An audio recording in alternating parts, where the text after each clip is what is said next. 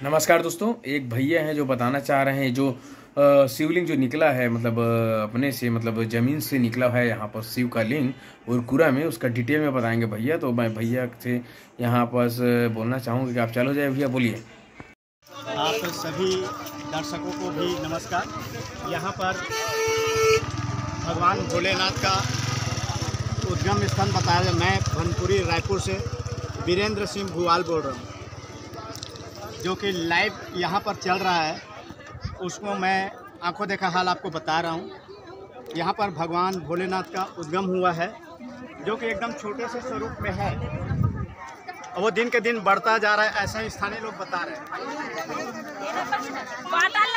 ये देखिए भगवान भोलेनाथ का स्वरूप को दिखा रहे हैं। भोलेनाथ का स्वरूप को दिखा रहे हैं जो कि दिन के दिन बढ़ते जा रहे हैं। इसके साथ साथ हमारे यहाँ पर और माँ बहने लोग आए, वो लोग भी दर्शन कर रहे हैं। उन लोग भी यही कह रहे हैं कि ये दिन के दिन भगवान भोलेनाथ जो है, बढ़ रहे ऐसी अपन सोच कर आए हैं कि दूर से भी आए हैं दर्शन करने कि हकीकत में क्या है। तो हकीकत हम आँखों देखी हाल आपको बता रहे हैं। यहाँ पर पूजा अर्चना हो रहा है और ये उरकुरा के स्टेशन के लगभग नज़दीक में ही है। जो भी ट्रेन से आएगा वो उर्कुरा स्टेशन उतर कर भी यहाँ पर दर्शन करने के लिए आ सकता है, पूजा अर्चना करने के लिए आ सकता है। ये श्रद्धालुगण आपको दिखाई दे रहा है।